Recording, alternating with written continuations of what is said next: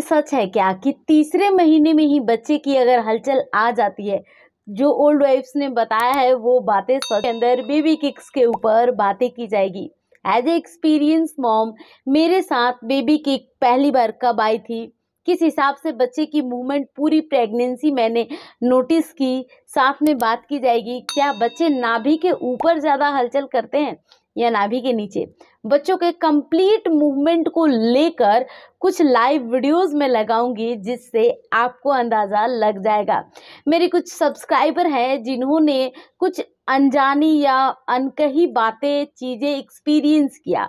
बच्चों के हलचल से रिलेटेड उन बारे में भी, उन सारे पॉइंट्स को यहाँ पे बातें करके आपको बताई जाएगी। सपनों से रिलेटेड भी कुछ मैं चर्चा करूँगी और बच्चे दिन या रात कब ज़्यादा हलचल करते हैं। एक बच्चा एक दिन के अंदर, जिसका कह सकते हैं चौथे या पाँचवें महीने की प्रेगनेंसी चल रही है या इससे ऊपर चल रही है, तब हम कितने बेबी के एक्सपीरियंस करते हैं। चलिए, बातें ढेर सारी है तो कंप्लीट वीडियो को वॉच कीजिए। चलिए, हम पॉइंट के ऊपर आते हैं।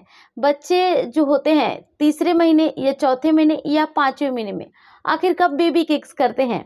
बच्चों का पर्सनल डिसीज़न होता है, उनकी ग्रोथ होती है, मदर का नोटिस करने का तरीका होता है, तब जाकर हम आइडिया लगा पाते हैं कि बच्चे की हलचल हलचल जो है वो इस महीने में आई है। कुछ महिलाएँ ऐसी हैं, बच्चे की हलचल तीसरे महीने से आ रही है, उनको पता ही नहीं चलता है। ऐसा लगता है उन्हें शायद गैस बबल्स है। तो हो सकता है चौथे या पाँचवें महीने में, या फिर अभी अभी कुछ टाइम पहले मेरी एक सब्सक्राइबर ने बताया कि उनको बेबी किक्स आती थी पहले से। बाद में उन्हें लगा कि बच्चे की हलचल नहीं आ रही है। टाइमिंग 25 वीक जा पहुँची थी, इतना लेट समय होने पे। जब डॉक्टर से उन्होंने चेकअप करवाया तो डॉक्टर ने बताया कि आपके पेट के ऊपर बहुत सारे फैट्स हैं। जिस वजह से बेबी किक्स या बच्चे की हलचल आप महसूस नहीं कर पा रही हैं। बट ऐसा देखने में लग रहा है कि बच्चा तो एक डेढ़ महीने पहले से हलचल कर रहा है। तो मतलब कि अंदाज़ा लगा लीजिए इस चीज़ में कितना ऊपर नीचे नोटिस करने का तरीका वगैरह है। खासकर ये उनके लिए टफ होता है जो पहली बार माँ बनने वाली होती हैं। लेकिन मैं अपने चैनल के माध्यम से बहुत सारे पॉइंट के ऊपर मैं चर्चा करती हूँ, जिससे आपको अंदाज़ा लग जाएगा कि ये बेबी किक्स ही हैं, कोई गैस बबल्स नहीं है। फिर बात करते हैं इस पॉइंट के ऊपर कि दिन या रात कब बच्चे ज़्यादा हलचल करते हैं। बच्चा जब भी जगा रहे, अगर बच्चा दिन में जगा है तो दिन भर हलचल करेगा। अगर बच्चा रात में जगा है तो रात भर हलचल करेगा।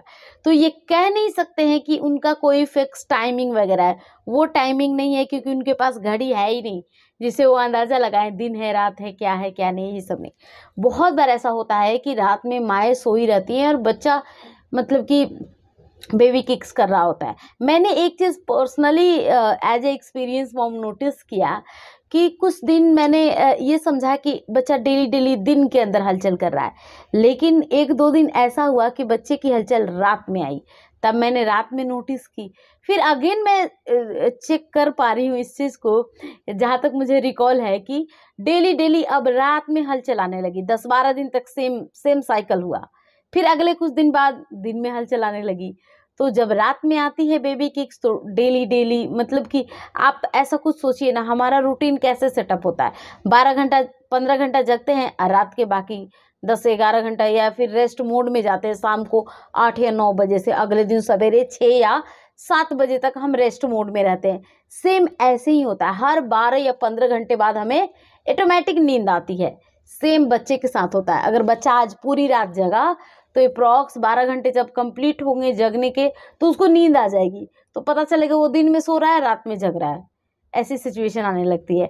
तो इसमें भी एक मदर को एडजस्ट करना होता है नोटिस करना होता है। घबराने की कोई ज़रूरत नहीं अगर बच्चा उल्टे पैटर्न में चल रहा है तो भी कोई प्रॉब्लम नहीं है। क्योंकि मतलब बर्थ के बाद ये दिन या रात ये सिस्टम टाइमिंग ये सब बर्थ के बाद फॉलो करने वाली चीज़ें हैं। पहले तो कुछ भी हो, गर्भ के अंदर इससे कोई दिक्कत वाली बात नहीं है। बच्चे नाभि के ऊपर कई बार ज़्यादा बेबी किक्स करते हैं, कई बार नीचे करते हैं। आपके बच्चे ने पहली बार कब हलचल की थी? नीचे ज़रूर कमेंट कीजिएगा।